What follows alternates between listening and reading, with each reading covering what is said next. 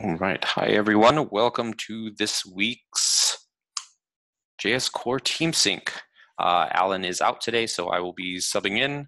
Um, let's go ahead and kick things off. If you have an update, you'd like to give an update, the CryptPad is in the chat. Uh, please add your name to the attendees list um, and feel free to add a note. I know we have a couple couple new people on the call. So we'll leave time uh, for you guys at the end to, to, say hi and what you're working on. Um, we'll go ahead and start. And I am at the top of the list, so I will go. Um, last week, I got the initial draft of Identify Push support in JSLibp2p, um, as well as the draft PR for the integration of that into Switch. Um, push support won't get added into Switch quite yet. I'm going to wait for uh, AutoNat to get finished first, which I'll be working on this week. Uh, once we have AutoNat support, then we'll actually be able to use Identify Push and Switch. So work on that. Um, also working on some stuff for IPFS camp. I'll continue to work on that this this week. Um, and then uh, meeting with some of the ops team later today to go over some of the uh, libp2p infrastructure inventory, like all of the um, signaling servers and star stuff like that so we can make sure that um, deployment for that is good to go. Uh, does anybody have any questions for me? Oh, all right. Uh, Vasco is not here. Uh, he's helping support the JS Gossip Sub work. I think that initial work got merged. Um, they're going to be working on integration with libp2p and I think finalizing some miscellaneous items there. Uh, he was at Data Terra Nemo last week. Um, and this week, I think he's going to finish up the interface connection uh, new proposal for the async await endeavor, um, and then more async iterators work. If you have questions or interested in anything Vasco's working on, feel free to ping him in PR or IRC. Um, next up, Dirk. Hey everyone. Um, so this week I managed to get the refs and refs local endpoints released, and then I was just doing some work on the garbage collector, uh, implementing locking. So that's just about done. I just need to to write some tests, and then I think we're ready to go with garbage collection. Nice. Any questions for Dirk? Oh, all right, uh, Adam. Hi there. Um, so the PR for the migration tool for JS is sort of ready. Um, it's in my own private repository, so I'll need sort of help how to uh, migrate under, I guess, IPFS organization in future. Um, also, initial work for the integration of this this migration tool to JS IPFS is already uh, up there. So if you have time and interested, feel free to give me some feedback on it.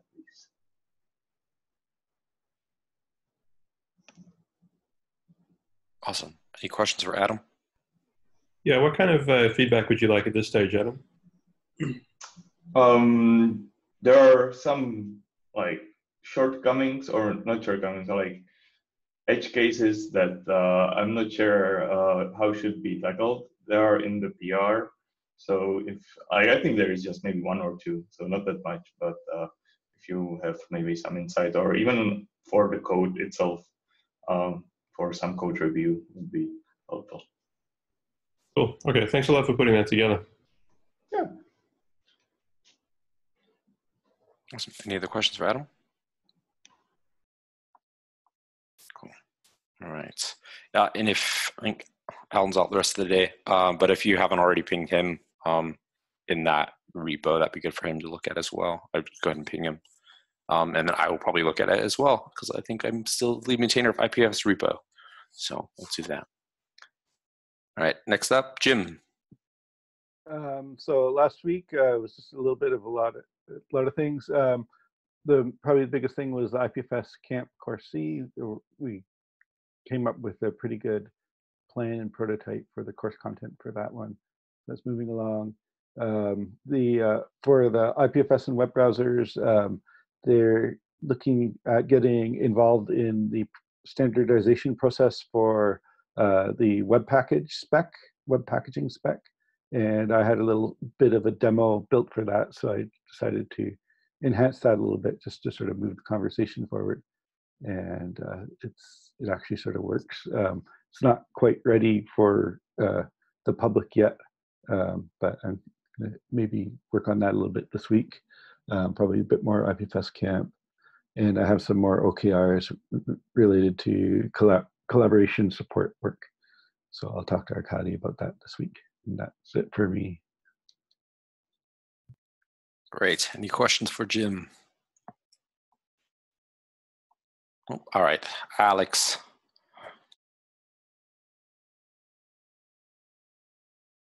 Hello.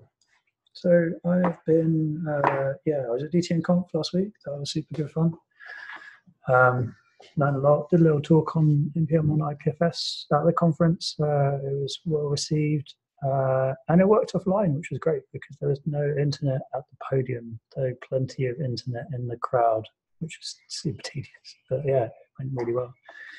Um, I've been working on the async await um, port of UnixFS, the importer exporter, and then MFS. They are all done it's all async await all the time. No more pull streams. Well, sort of.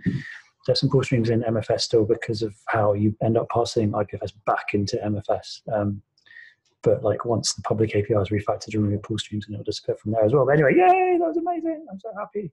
I can finally sleep now. Um, so this week, uh, I'm going to add some interop tests uh, around the importer because uh, something that I found is that a lot of the CIDs in the importer tests were actually not the same as the ones generated by Go, uh, which was interesting. So they all worked. You could still export everything from it in both languages. They just not. They just don't agree on what the correct CID for a given DAG is. Um, so I'm going to add some interop tests around that uh, ones because there's not a lot of interop interop file related tests uh, once I've done that, I need I'm going to try and look at the performance impact of these tests because obviously the the import and export of nodes is a pretty hot code path. We want to make sure that the async await stuff isn't uh, negatively impacting performance. Uh, and then I'm going to get back onto npm on IPFS. Uh, need to upgrade to the almost latest, to the latest JS IPFS. Um, and Infra are hopefully going to furnish me with some credentials that means that I can deploy the whole thing on uh, a, a, container service, uh, probably EC2, um, which will make it a lot more scalable because at the moment it's just a, a, Docker, like a set of Docker images running on one machine. Um, so that's going to be great. And that'll be me. Uh, anyone got any questions?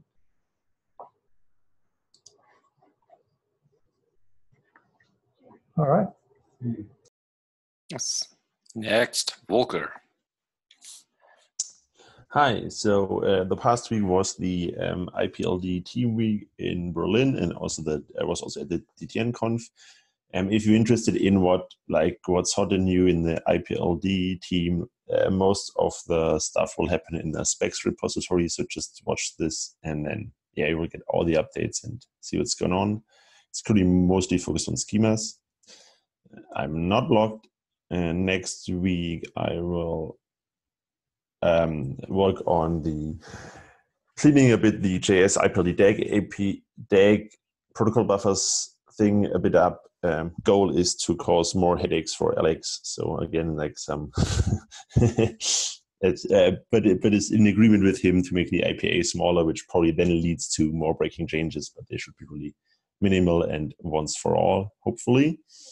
And um, I will also work a bit on the multi-format stuff because um, there's still a few inconsistencies from like ages ago, and just yeah, make sure everything is consistent and um, easy to understand. Um, yeah, that's all I have. Any questions for Volker?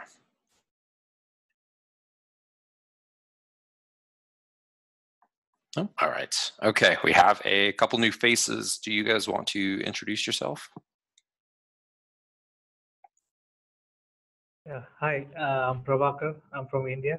So I'm in a, this uh, career acceleration program from Pesto Tech. Uh, so the next four weeks, I'll be working completely full time in IPFS, at least, and I'll probably continue working on it after that. So I'll start with help first and basic issues then I'll continue with more advanced issues later on after a couple of weeks. Awesome. That's it. Yeah. Great to great to have you. Thank you.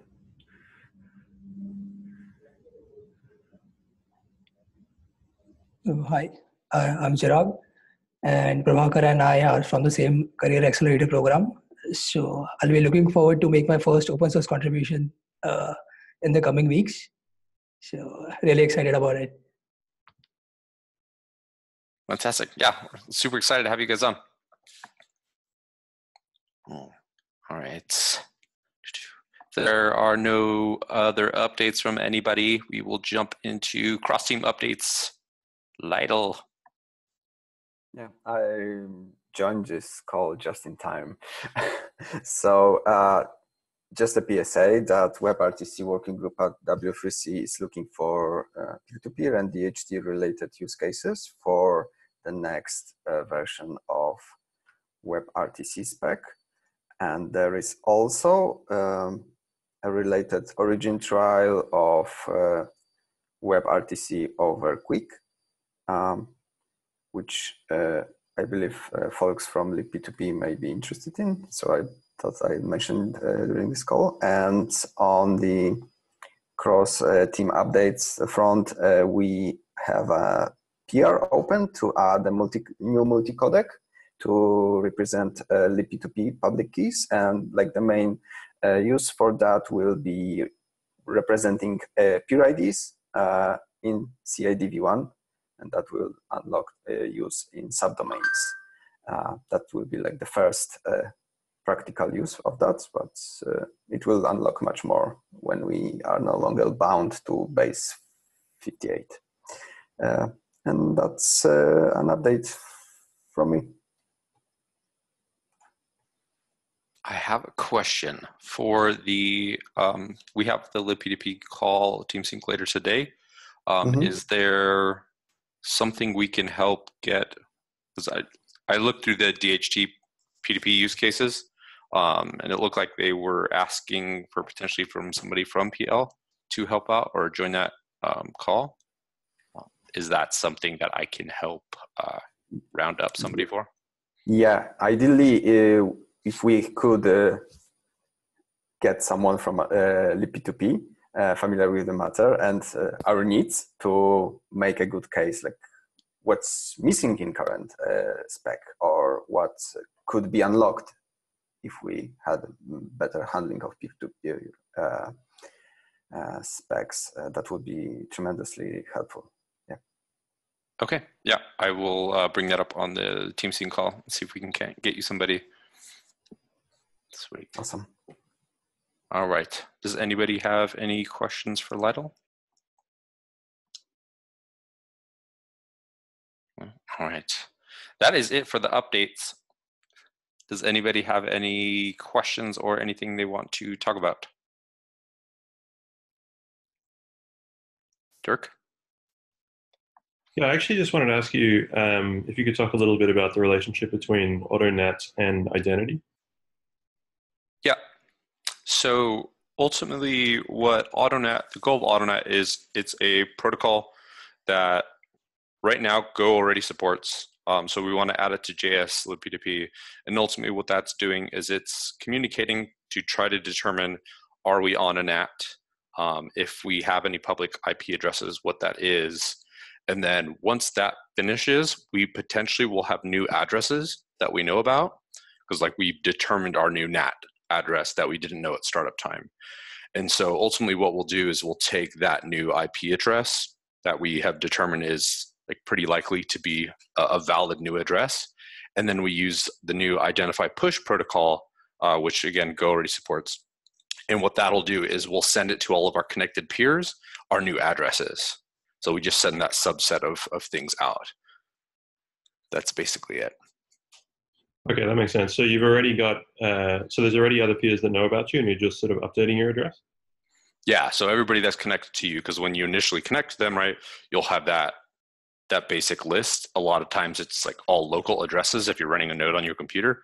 Um, and if we happen to determine that, oh, okay, you actually have a, a public address, then you can forward that to those peers and then they can try to reconnect you because sometimes they might be over like a relay that they're actually connected to you on. So, That makes sense. And so AutoNat, um, does that work using other peers or is it like some centralized uh, servers?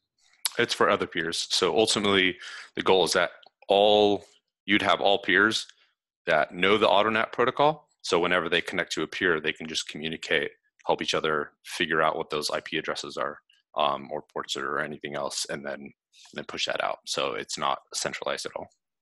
Wow, that's really cool.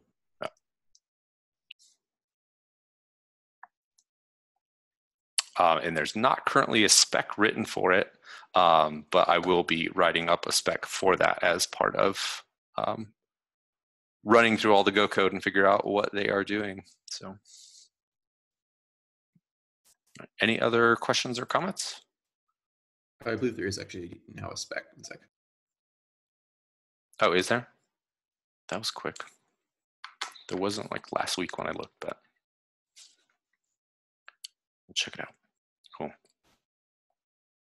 All right, if that is it, last call. All right, we are done. Uh, thanks everybody for coming, uh, and we will see you next week on the JS Sync. Bye.